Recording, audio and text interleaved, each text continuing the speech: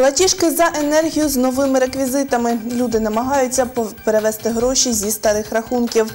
Центральна виборча комісія зареєструвала ще двох кандидатів у президенти України. Доброго ранку на годиннику 7.30. В ефірі телевізійні новини Миколаївщини. В студії для вас працює Вікторія Чернявська. Протягом прямого ефіру на екранах ви бачитимете нашу електронну адресу, за якою зможете звертатись до редакції, а також посилання на наш Ютуб канал та сторінку у мережі Фейсбук.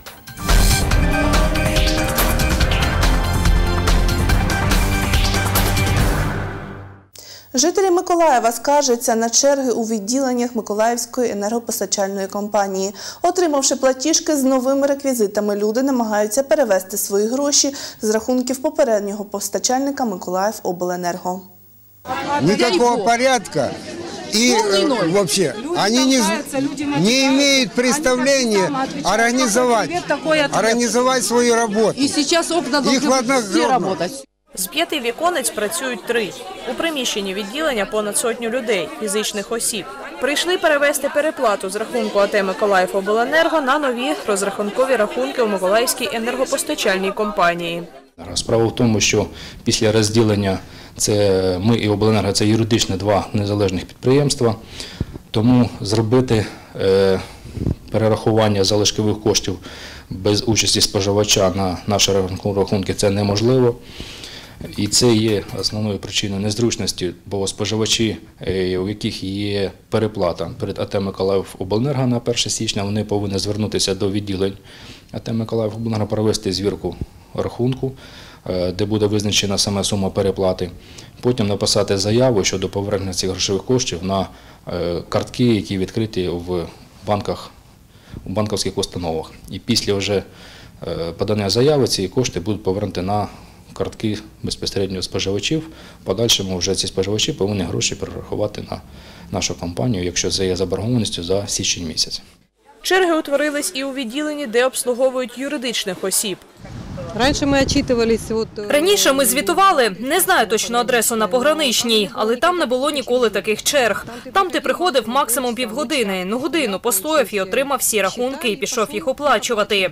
Ось зараз нас розділили просто дві компанії електропостачання. Та розподіл ось зараз через це ми стоїмо в такій черзі, щоб отримати нові рахунки. Це взагалі незручно. Ось таку чергу вистояти. Ми не знаємо, скільки ми тут простоїмо, і витратимо просто свій робочий час на це. Це п'ять годин треба було в черзі стояти, щоб отримати рахунок. Не продумано. Всі організації з усіх районів зігнали ось сюди. І кожен представник бухгалтер чи голова якогось суспільства тут повинен стояти 5-6 годин в черзі, щоб взяти ось цей папірець і заплатити їм. Це гроші, щоб вони отримували шалені заробітні плати. По обіді в коридорах та на дверях установи з'явилось оголошення з пропозицією громадянам звернутись в інший день. Для кожного району свій. По-перше, ми розподілили споживачів на групи. Е, Саме по місту Миколаєву споживачі, е, які е, розташовані в центральному районі, ми їм пропонуємо звертатися безпосередньо до нас 5 числа. Споживачі Заводського району на 6 число, що приходили, споживачі Інгульського району на 7 число. При цьому Штрафні санкції, які можуть виникнути внаслідок того, що ми не своєчасно дали рахунки, е, застосовуватися не будуть. Е, Тобто всі споживачі повинні е, тим, паче до кінця тижня все ж таки отримати рахунки і розрахуватися вже після отримання рахунків, так як це передбачено умовами договорів. Директор Миколаївської енергопостачальної компанії Валентин Лінченко, аби уникнути черг, пропонує споживачам електроенергії створювати та користуватись власним кабінетом на сайті компанії. Валентина Гурова, Юлія Кускова, телевізійні новини Миколаївщини.